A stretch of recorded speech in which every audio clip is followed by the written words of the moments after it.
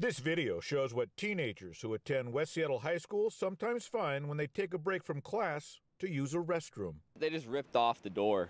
People will kind of they don't show much respect to like uh, the the privacy in the bathrooms. Students say this is a recurring problem and their own classmates are to blame. I decided not to go to the bathroom during school. Regarding the damage you see in this image, a school district official says they are in the process of repainting this restroom so it doesn't look like this.